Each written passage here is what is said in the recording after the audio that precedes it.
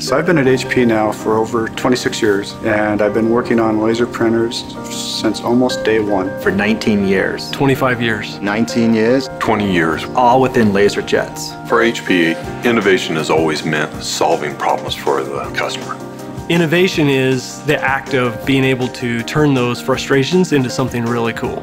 Customers want security, mobility, integrated solution capabilities, but they also wanted faster speeds. So that design trade-off we had to work through with our engineering team. We started thinking about this series of products about five years ago.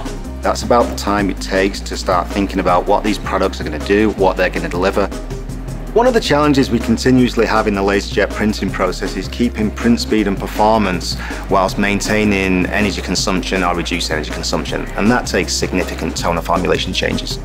ColorSphere 3 toner with a durable shell and soft core. We also have Page Maximizer technology, which gives the customer up to 33% more pages. One of the challenges that we took on with this generation was size. It's a complex system, so getting after size, it's, it's like shrinking a car.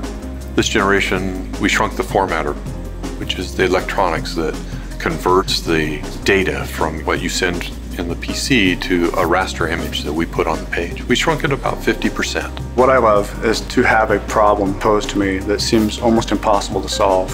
One of the obstacles to overcome was the recovery time from sleep. Previous generations might take two to three seconds. This new generation takes 100 milliseconds. The customer, they're seeing a roughly a 50% reduction in their energy consumption. At the same time, the printers are printing 30 or 40% faster than the previous generation.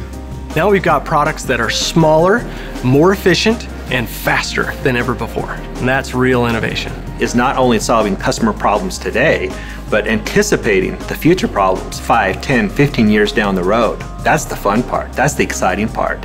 And that's what innovation means to us.